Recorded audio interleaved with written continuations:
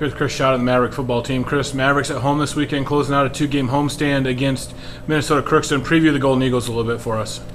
Uh, they're a good run team, leading the league in rushing, so uh, it's good, definitely going to be a challenge for us to step up on the defensive line and on the on the line of scrimmage there. Um, just got to stay tough in there, stay disciplined to our gaps, uh, so the linebackers can fit off well. Uh, it really all starts up front, so we just got to make sure we're disciplined and doing our job up front. Maverick defense really made a good step from week one to week two. Last week, had a good job shutting down uh, that quick attack of Northern State. Talk a little bit about how you guys have been progressing so far.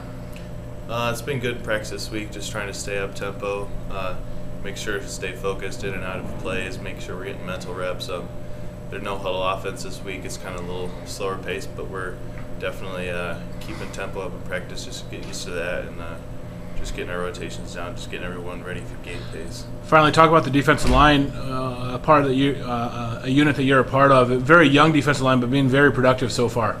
Yeah, uh, it's been fun to see.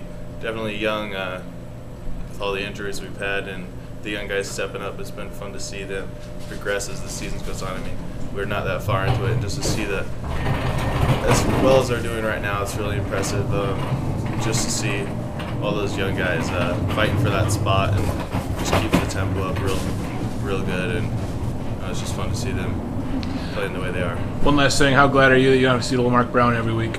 He's done a pretty good couple weeks so far, and and him and the whole offense showing they put, score some points. Yeah, I mean he's definitely a special player for us. It's fun to see him go out there and make plays. Uh, he's just an all natural, just playmaker. He's just anything, get the ball in his hands, he can make something happen for us. And it's not just him on the offense side. There's three or four guys touch the ball, and you don't know what's Yeah. going to happen.